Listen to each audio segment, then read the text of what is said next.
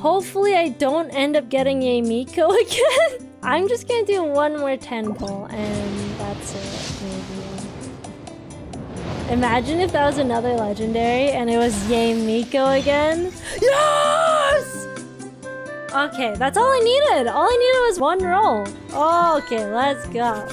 Easy. That's all I wanted. That's all I wanted. You have to. Oh? I got another new character as well! In one 10 pull.